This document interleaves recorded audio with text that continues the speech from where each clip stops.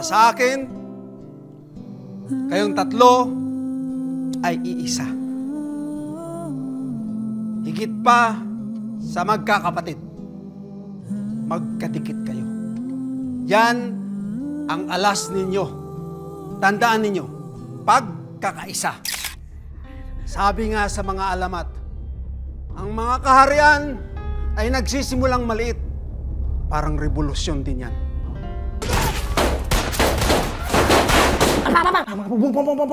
Tigil muna tayo sa bato. Ha? Nais kong maging malaya Dito sa pulang Marami na akong nasaksihan. Hindi natin kailangan tumigil katulad sinabi ni Papa. Sinabi ni Papang na tumigil.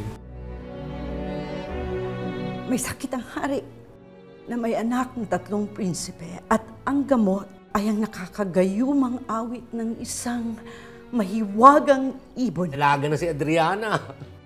At kapag nahalina ka sa kanyang magandang awit, makakatulog ka. Didiskarte mo si Adriana. Pwede ba manahimik muna kayo? Nasisira ang diskarte ko eh. Kung sino man ang unang makahanap kay Adriana, siya ang papalit kay Fernando. Hinahanap pa rin ba niya si Adriana? Yung bobo mo kapatid. Ang bobo-bobo nun, Brad. Anong balak mo? Papatayin ko silang lahat.